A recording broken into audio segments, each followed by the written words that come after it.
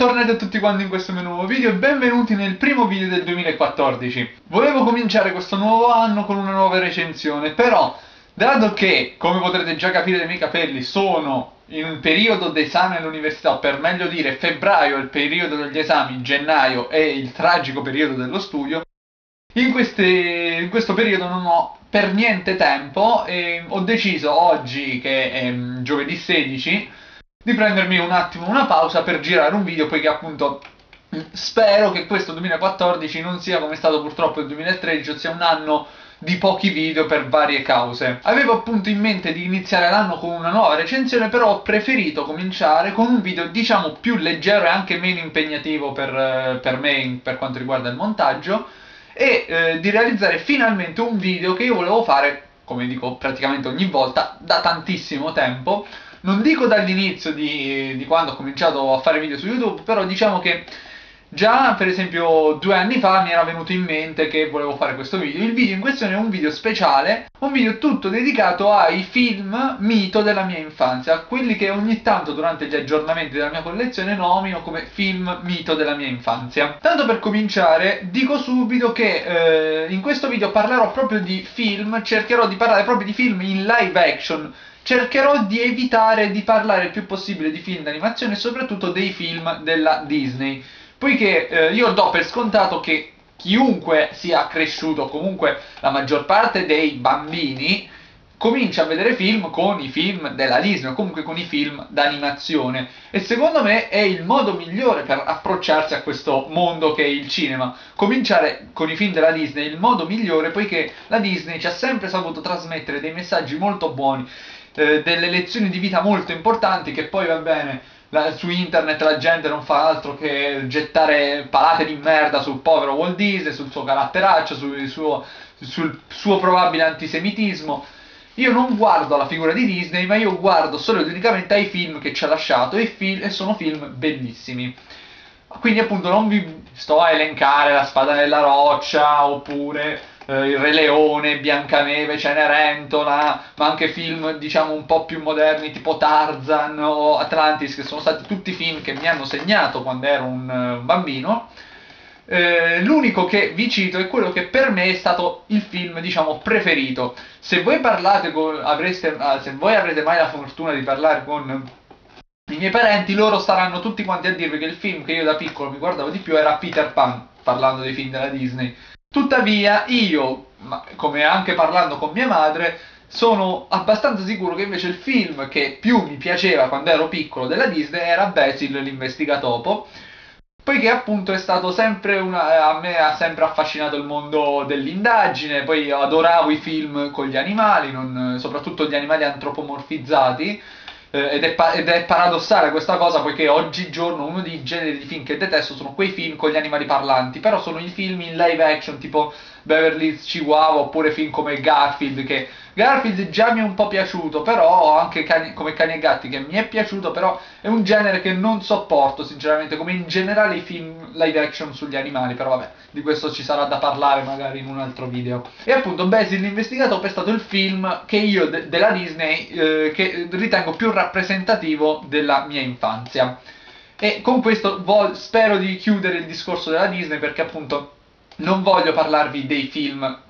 della Disney perché quello do per scontato che chiunque li ha visti quando è stato un bambino. Personalmente, ogni volta che mi capita di parlare di quei film che hanno segnato la mia infanzia, mi vengono in mente tre titoli che per me sono stati più importanti, appunto i miei non dico proprio miti, ma sono stati proprio delle vere e proprie ossessioni quando ero un ragazzino. Questi tre titoli ve li presenterò in ordine crescente, a partire appunto da quello che è stato un film importante, ma non come lo è stato quello della seconda posizione o quello della prima posizione. Il film in questione è Scemo e più scemo con Jim Carrey e Jeff Daniels, diretto dai fratelli Farrelly.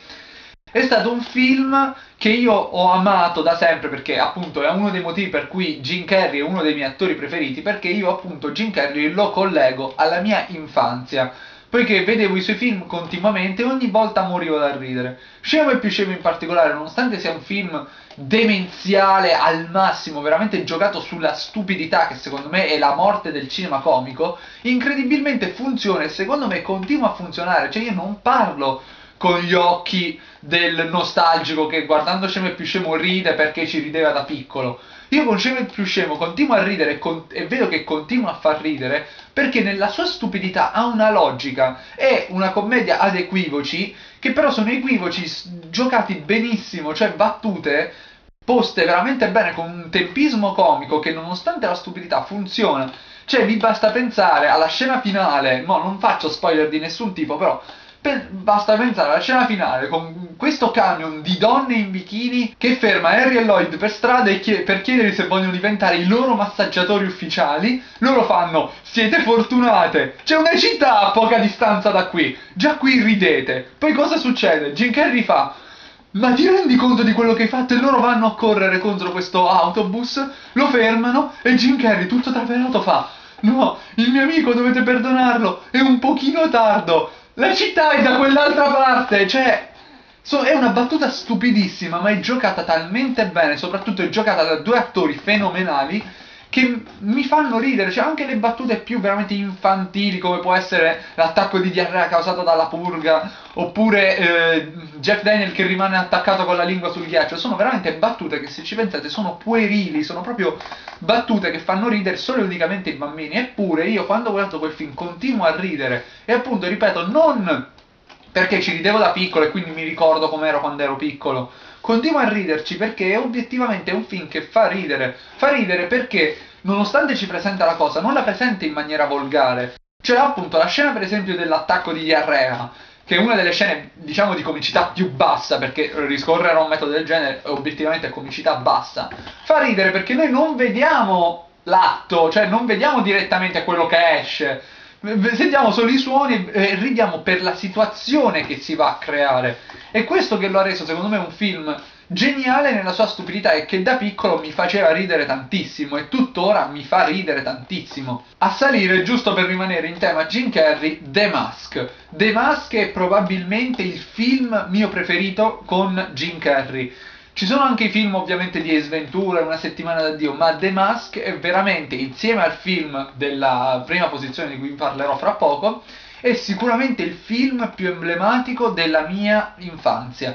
Lo vedevo ogni giorno, avevo, un, avevo il film in VHS uscito in edicola, mi ricordo, con Specchio della Sera, eh, quella videocassetta l'ho veramente consumata. Quando dico che l'ho consumata, intendo dire che l'ho proprio rotta. È stato il più grande trauma della mia infanzia quando ho messo la videocassetta nel videoregistratore, non funzionava, cacciavo la videocassetta e scoprivo che il nastro era tutto rigato e distrutto. Questo per tutte le volte che lo avevo visto.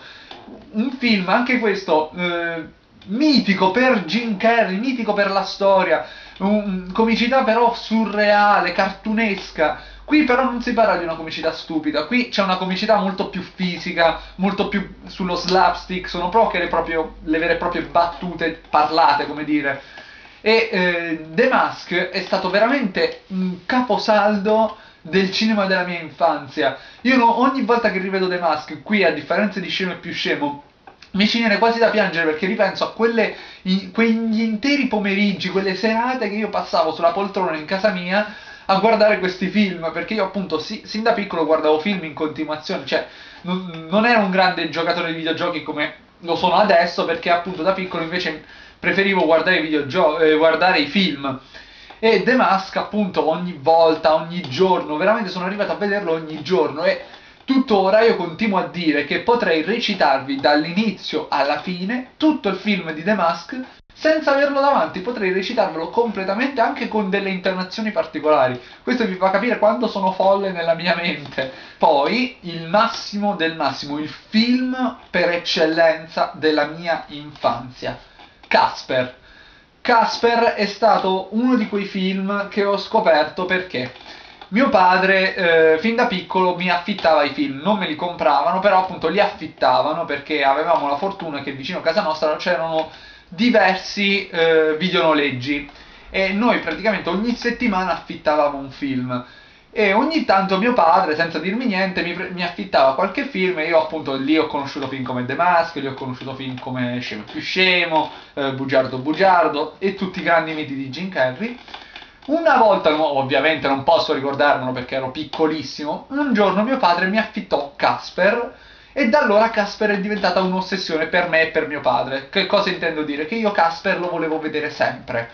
Ogni volta che mio padre mi diceva che film devo prendere, io dicevo Casper. Ogni volta che mi diceva che film vogliamo guardare stasera, io dicevo Casper. Casper era diventata la mia ossessione perché fin da piccolo mi aveva colpito eh, per la sensibilità, per la poesia di questo film e l'innocenza di questo film.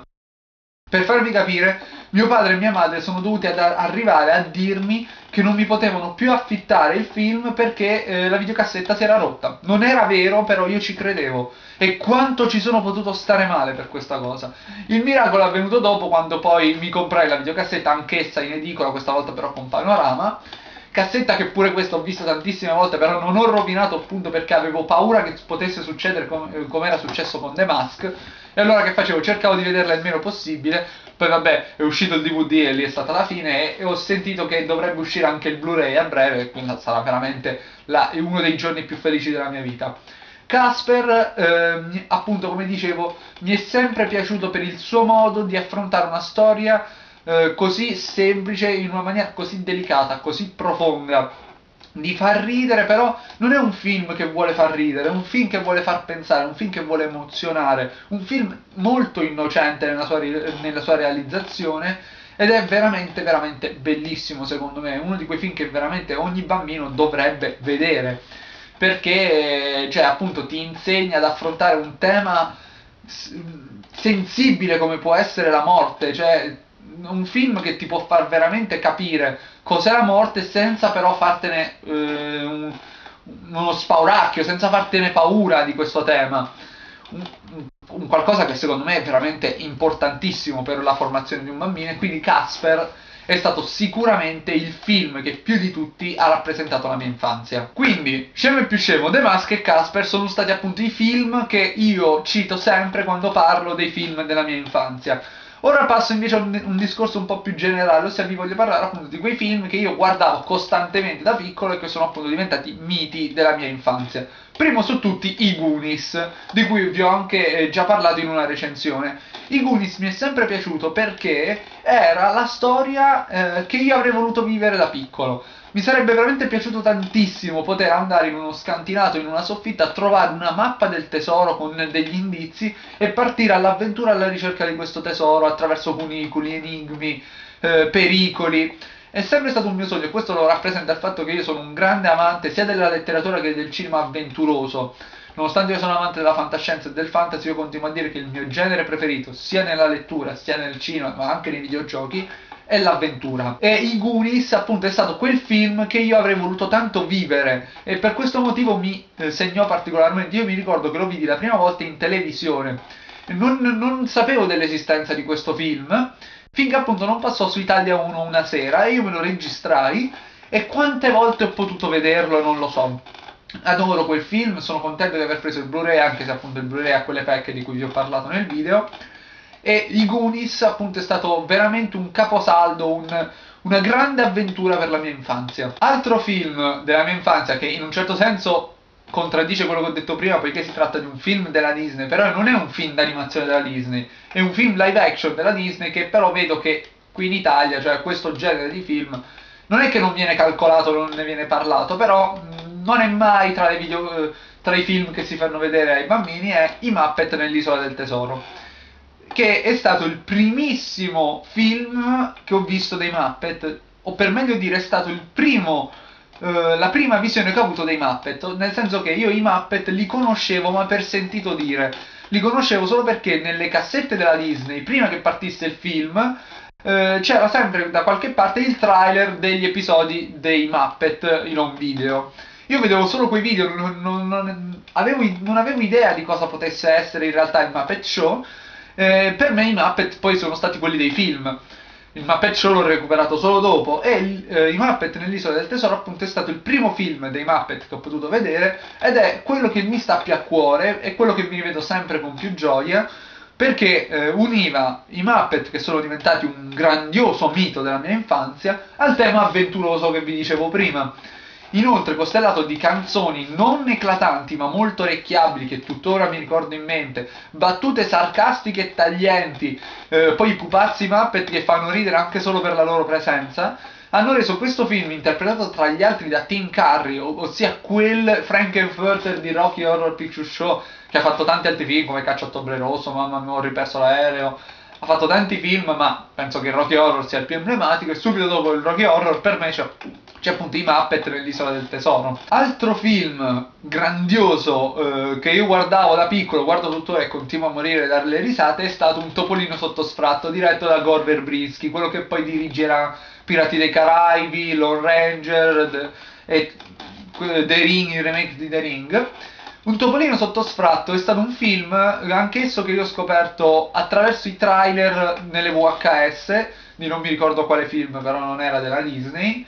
e eh, mi aveva incuriosito da questi trailer e per fortuna un giorno passò anch'esso su Italia 1 e io lo vidi e morì dalle risate. Ma anche in questo caso, come per scena più scemo, non è eh, una risata relativa alla battuta, ma una risata eh, relativa alla situazione che si andava a creare. Certo, guardarlo oggi è un film con tantissime pecche, però anche questo è un film molto piccolo, un film per famiglie che ti fa eh, staccare il cervello, tu lo guardi, passi un po' di tempo divertendoti, divertendoti senza stare a farti troppe pippe mentali. Un, gran, un, film che appunto io continuo a vedere soprattutto sotto Natale, che incredibilmente esula dal solito canone di film per famiglie e per l'infanzia, poiché è un film comunque molto cupo, è un film molto scuro dove ci sono scene anche abbastanza direi di impatto, cioè vedere un topo che riduce alla follia uno sterminatore di insetti che veramente esce fuori di testa. Come dire, una scena di un certo impatto, però è un film comunque godibilissimo secondo me. Non posso poi non citare, e può sembrare un po' strano, Titanic. Titanic di James Cameron, uscito che io comunque avevo già 7-8 anni, non, non voglio sbagliarmi, è stato un film che dall'inizio mi aveva interessato, poiché eh, è stato il primo film veramente maturo eh, che io ho visto e mi era piaciuto da sempre, cioè io ho sempre adorato da allora i film eh, di impatto, nel senso i film drammatici o comunque le tragedie umane. E Titanic è stato proprio il primo film, io mi ricordo che lo vidi perché mi piaceva la musica di Celine Dion. Cioè, vedendo i trailer, sentivo questa colonna sonora, che poi appunto è uno dei miei generi eh, musicali preferiti, il, perché la colonna sonora di Titanic era ispirata alle sonorità della musica di Enya, perché James Cameron voleva Enya all'inizio come compositrice delle musiche, però lei si rifiutò. Allora eh, chiese al compositore delle musiche di fare delle musiche simili alle sonorità di Enya. E eh, io mi ricordo che appunto vedevo questi trailer con questa musica e mi piacevano tantissimo. Io vidi quindi il film principalmente per la musica, ehm, soprattutto la canzone di Celine Dion e per la famosissima scena di Sto volando Jack sulla prua della nave. Eh, cioè, mi ricordo che lo vidi il film e rimasi estasiato, era bellissimo. Erano tre ore di film che però non mi pesavano mai, che io guardavo. All'inizio quando ero piccolo lo guardavo e vedevo il film in sé, poi crescendo piano piano, piano ho iniziato a scoprire veramente i significati di determinate scene, di determinati messaggi ed è uno dei motivi per cui ogni volta che io vedo Titanic scoppio a piangere. Altro grandioso mito della mia infanzia legato a un grande nome come può essere quello di Steven Spielberg è Hook Capitano Uncino. La prima grande reinvenzione di una favola, il suo proseguire di una favola sceneggiato in una maniera egregia, un film molto favolistico ma allo stesso tempo molto maturo, interpretato da un cast eccezionale, una reinterpretazione del mito di Peter Pan veramente bella. E, eh, è bello vedere come i film di oggi, film favolistici, ma anche telefilm come può essere Once Upon a Time, film come Alice in Wonderland, Biancaneve il calciatore, Biancaneve di Tarzan, il prossimo Maleficent che deve arrivare, sono tutti film che devono molto a Hook Capitanoncino di eh, Steven Spielberg, poiché se eh, c'è stato un film che è riuscito a reinterpretare una favola riuscendo ad uscire dal canone pur rimanendo all'interno di esso, il primo di tutti è stato Hook Capitano Uncino, o perlomeno se non è stato il primo, è stato quello che ci è riuscito meglio. Ed è un film che appunto ricordo sempre con molto affetto perché anch'esso univa la componente avventurosa anche la reinvenzione di uno dei miei miti del film della Disney che era appunto Peter Pan e questo film non è della Disney però ne prende anche le, gli elementi visivi cioè Spugna di Bob Hoskin è, è spugna cioè guardando anche se magari fisicamente non gli somiglia, so, rimanda fin troppo a Spugna della Disney, come anche lo stesso Capitano Uncino interpretato da Dustin Hoffman. Cioè, sono stati dei film eh, veramente belli, c'è una reinterpretazione visiva ma anche storica del, del, mito di Peter Pan fatta da un genio del cinema perché Spielberg che, che se ne dica sa fare film magari non sono film di particolare altezza certe volte sono film un po' più commerciali però Spielberg sa narrare ultimo ma non ultimo di questa schiera di film live action La famiglia Adams 2 io eh, la famiglia Adams ovviamente la conoscevo per i cartoni animati eh, e per qualche sporadico episodio della serie originale in bianco e nero. Eh, non ho mai visto quando ero piccolo il primo film della famiglia Adams. Non so perché, non, non mi è mai capitato di vederlo, ma ho sempre solo visto la famiglia Adams 2, che comunque io reputo molto migliore. Poiché la famiglia Adams l'ho rivisto, cioè l'ho visto per la prima volta tipo due o tre anni fa mi era piaciuto, però eh, non è divertente, non ha quella sagacia che ha la famiglia Adams 2. Che, cioè, sinceramente, anche se ho notato che su internet molti criticano questo, questi due film, eh, diretti dal regista di Man in Black, perché esula eh, un po' troppo da quello che è lo spirito originale, ossia mette la famiglia Adams in un'ambientazione moderna. Mentre, se non mi sbaglio, la famiglia Adams è sempre stata legata a un mondo un po' più anni 30 questa critica sinceramente non, non, mi tange particolarmente perché comunque il film è molto divertente. Si vocifera su internet da anni che probabilmente Tim Burton dirigerà un film stop motion sulla famiglia Adams e sinceramente lo spero con tutto il cuore perché sarebbe un sogno che si avvera perché vedere la famiglia Adams legata a Tim Burton è veramente qualcosa che dovrebbe venire ovvio nella mente de, di qualsiasi cinefilo appassionato di Tim Burton. Comunque sia, la famiglia Adams 2 eh, è sempre stato un film anch'esso particolare perché comunque anch'esso come tutta, tutto ciò che riguarda la famiglia Adams sembra una comicità molto macabra, una comicità molto nera però è bello come riesce a divertire senza essere troppo macabro o addirittura troppo volgare. E nella famiglia Adams 2 c'è sempre il rischio dietro l'angolo di risultare volgare però incredibilmente non lo fa. Cioè nella famiglia Adams 2 si parla spesso di sesso però non viene mai quasi mai nominata la parola sesso eh, e viene sempre molto filtrata questa cosa e rende il film godibilissimo sia ai bambini che così diciamo non rimangono colpiti ma anche per gli adulti che invece capiscono cosa invece i personaggi intendono veramente. E per questo motivo secondo me è un film molto importante sia per la mia infanzia ma in generale anche per dimostrare come si può fare commedia eh, con temi delicati senza essere volgari Chiuso il capitolo uh, live action, vi parlo un po' di alcuni film dell'animazione, però non sono film d'animazione della Disney. A cominciare dai film di Lupin, o comunque dagli speciali televisivi di Lupin, che mi ricordo che quando ero piccolo ci fu un periodo dell'anno in cui ogni sabato pomeriggio o ogni domenica sera, ora non mi ricordo, su Italia 1 veniva eh, trasmesso uno di questi speciali o di questi film. Tra i tanti, perché li ho visti tutti, quelli che mi ricordo di più sono stati, e ora ve li nomino con il nome che passava su Italia 1 perché sinceramente non è che mi ricordo molto bene i titoli originali, sono eh, Nome in codice Tarantola, che se non mi sbaglio è Walter P38, Una cascata di diamanti, che se non mi sbaglio è Il segreto del diamante penombra, e eh, Il tesoro del Titanic, che se non sbaglio è spada Zanze, Zanteretsu, che sarebbe la spada di Gemon, Infuocati. E sinceramente di tutti questi tre titoli preferisco sempre la versione di Italia 1. Questi tre film di Lupin sono stati i film che eh, più mi ricordo perché furono quelli che mi piacquero di più poiché eh, mostravano dei lati di Lupin, secondo me, o comunque delle tematiche di Lupin che io non avevo mai visto, poiché su Italia 1 questi gli episodi di Lupin, come anche i film di Lupin, passavano sempre molto censurati e filtrati, mentre mi ricordo che fu eclatante come questi tre film vennero eh, trasmessi in edizione integrale. Per la prima volta con eh, una cascata di diamanti ho visto Fujiko nuda. In Walter P38 ho visto eh, personaggi morire direttamente, ho visto dei crani esplodere davanti allo schermo e eh, in, nel Tesoro del Titanic ho visto eh, per la prima volta eh, delle donne diciamo un po' più interessate a degli argomenti spinti. Erano cose che sinceramente mi segnarono un po' da piccolo e per questo motivo adorai questi tre film in particolare eh, e me li ricordo tuttora tuttora sono i miei preferiti anche perché secondo me sono quelli che hanno delle trame molto più eh, efficaci rispetto a film magari un po' più moderni eh, parlando di film di Lupin che comunque sono sempre bellissimi secondo me. Ci sono poi due film d'animazione eh, non Disney che eh, mi ricordo eh, legati alla mia infanzia perché, poiché non erano proprio il film in sé